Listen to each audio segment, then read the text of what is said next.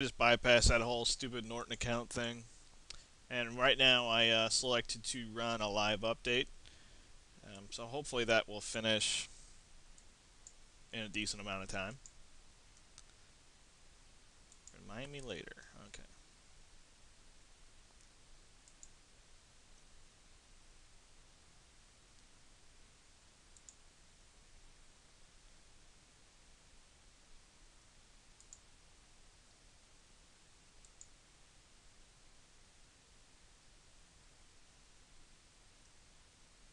So, um, over here to the left, they have this kind of nifty thing. I think they're trying to brag on how Norton really doesn't use that much of your computer. I mean, that's obvious to me, but that's what that is. Uh, right now, the system is maxed out at 100% CPU. Uh, I've only given it 50% of mine, so I can use my other PC in the background. Um, and Norton is using, you know, like 30%, uh, 36, whatever, it'll go up and down. It's kind of weird how Norton works. Like right now, you would expect Norton pop-ups down here. These these definitions are only 22 days old, so um, it's definitely going to detect things on here. But it's like it doesn't terminate or scan or anything at this point. Um, you have to kind of go in and configure it a little bit. And I'm going to minimize the uh, live update and try to condense this review a little bit here. Let that live update go in the background. Uh, so I'll go up to uh, under computer, I'll click settings. As soon as I get rid of this pop-up.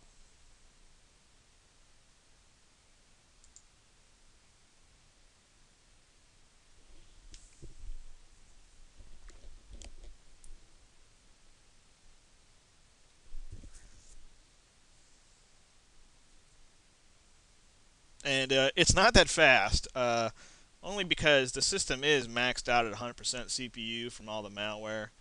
Um, so I don't know if you want to say it's if, if it's you know Norton's just kind of slow or it's or it is just the malware in the background. I can't tell because uh, the the latest little piece of malware that installed disabled my task manager, and I, would have to use a, a different task manager type application from uh, sysinternals, and I don't have time for that right now. So I'm just going to ignore it and just kind of wait for this to load.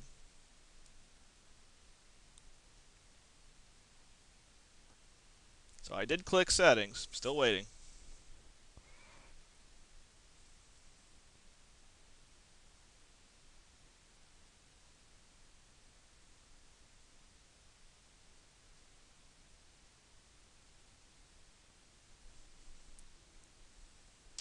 And a couple other people have said, well, why don't you just right click on your uh, menu down here and just end some of these things? Well, you can't.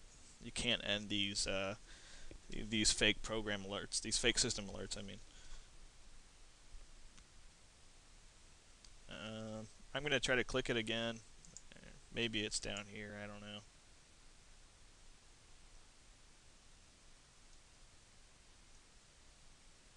No, that's live update. Still checking for updates.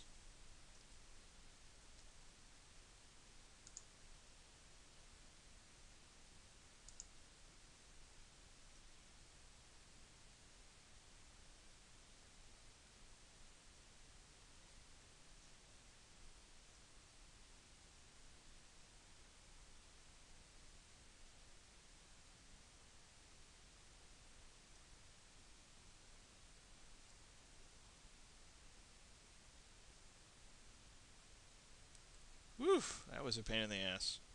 Alright. I don't know if you can see this stuff, but um, on the top we have anti-spyware. I'll click configure.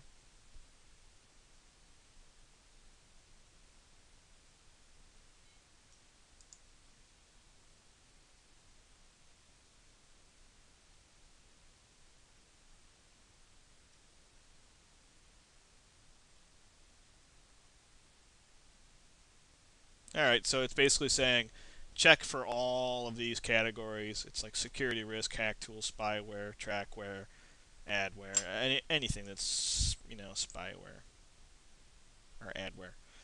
Um, I'm going to go ahead and uh, pause the video for a second, and when we come back, I'll go through the extensive configuration here. I'll be right back.